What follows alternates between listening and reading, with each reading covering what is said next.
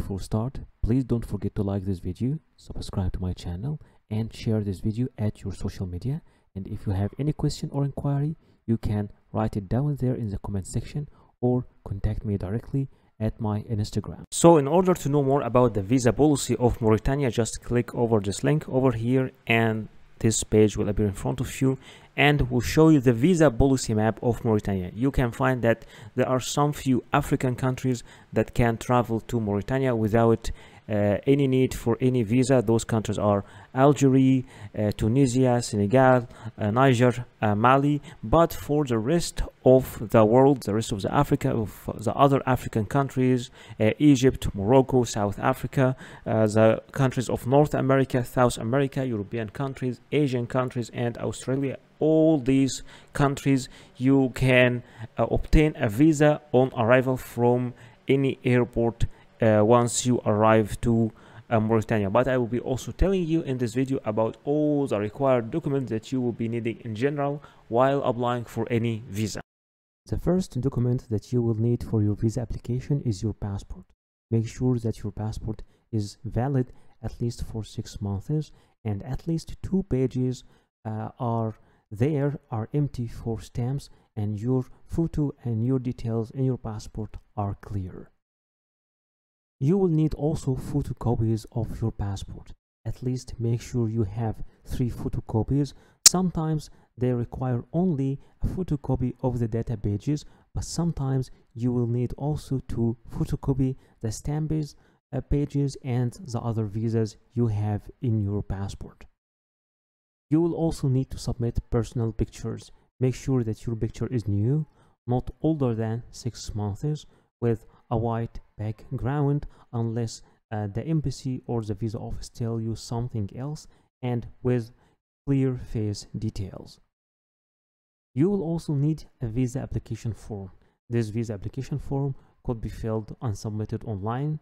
Other visa application form uh, could be filled on computer, then printed and signed, and other visa application form uh, need to be filled manually.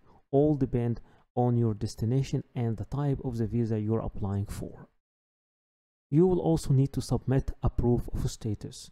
If you are an employee, then you will need to bring an HR letter from your company and this HR letter uh, should be signed and stamped with all the details of your company and your position in the company and stating your salary as well.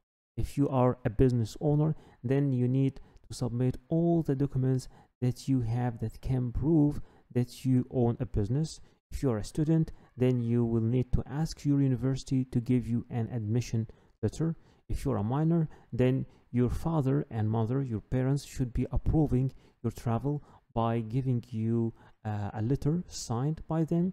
If you are jobless, then try to approve your uh, means of, uh, of, of, of funds.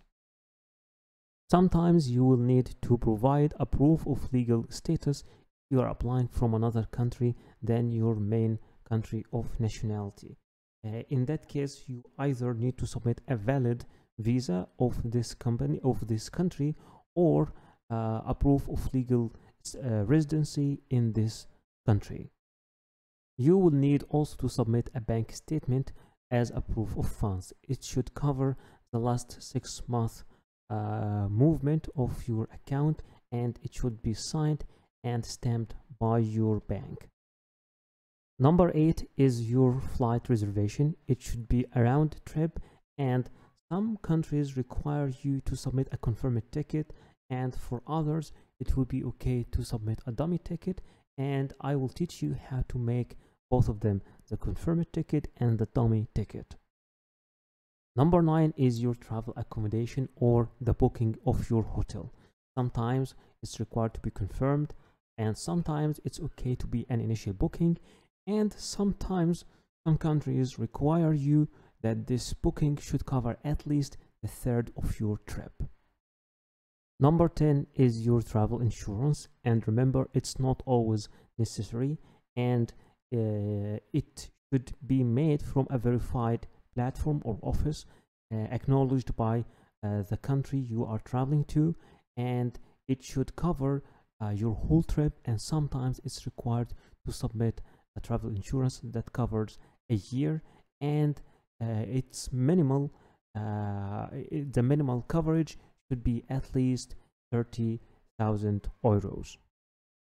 Remember that before applying for the visa you will need to contact the embassy or the application office and ask them about if there is any change in the documents or if there is any special documents required from you because sometimes documents are different from a country to another